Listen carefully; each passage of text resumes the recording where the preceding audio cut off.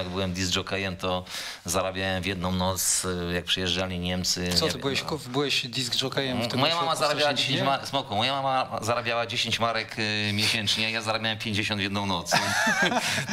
jako, jako DJ, bo przyjeżdżali Niemcy, tam zamawiali kawałki, ja na przykład potrafiłem... A ty mi, you're my heart, No. you're my soul. CC Modern Sandra? Modern Talking, wszystko szło, nie, w tamtym czasie. Alfa Wildo przytulanek nad ranem, pięć razy z rzędu i po 20 marasów i się, i się zarabiało czasami w jedną noc, wiesz, tyle co mama przez, przez, przez, kilka, przez kilka miesięcy. Byłem członkiem zespołu pieśni, tańca i Glopolanie i to był zespół, mm, który, który jakby był sponsorowany i należał do kombinatu, do, do prezesa Brzostowskiego, więc jako młody chłopak w 80 latach miałem okazję zwiedzać całą Europę, jeżdżąc z tym zespołem folklorystycznym po, po całej Europie, mając 16-17 Wycinałeś chołupce? 18 lat, nie no, i przegrałem w kapeli, wiesz, wtedy, wtedy to, to były czasy, że wiesz, jechałeś na przykład na Lazurowe Wybrzeże, graliśmy 30 koncertów, zarabiałem 10 dolarów za koncert, przewoziłem w wieku 16 lat 300 dolarów do domu, no to mama zarabiała tyle przez dwa lata. Dobry wieczór, Piotrek z Krakowa. Cześć Piotrek. Ja mam nadzieję, że mniejszego stresa będę miał na maturze za miesiąc, bo na razie się trochę denerwuję, ale mam dla panów takie Słuchaj, pytanie. słuchaj, jakbym był młodszy i bym jeszcze przerabiał materiał, bym ci pomógł. Muszę ci powiedzieć, że napisałem w życiu z 40 matur za pieniądze.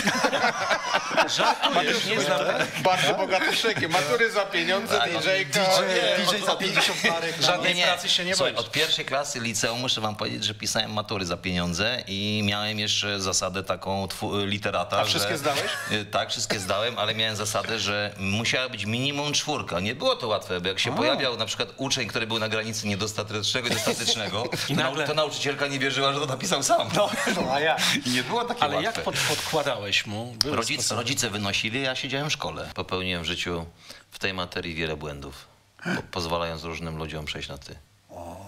I wydaje mi się, że więcej bym wygrał i, i, pewne, moje, i pewne moje sytuacje życiowe, zawodowe zdecydowanie bym lepiej rozegrał, gdybym był panem Mateuszem, panem redaktorem, gdybym trzymał dystans, gdybym się nie, nie spoufalał, gdybym nie dawał za blisko do siebie podejść niektórym ludziom, gdybym pewnych ludzi nie traktował jako swoich przyjaciół, jako swoje w cudzysłowie rodziny, jako swoich kumpli, tylko miałbym prosty, prostą relację po prostu zawodową.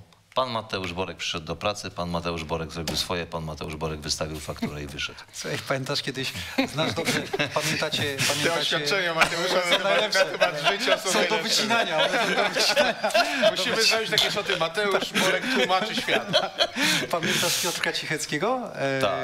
Puma, Puma. pamiętasz? Pozdrawiamy Piotruś. Kiedyś, kiedyś Piotrek mi opowiadał, że zrobił e, któregoś razu spotkanie integracyjne do knajpy, zaprosił całą Pumę, no i, i, no i wieczór się rozpoczął, tego, tego, zaczyna się lać coraz bardziej. Przeszedł z ludźmi na ty. Następnego dnia przychodzi do pracy.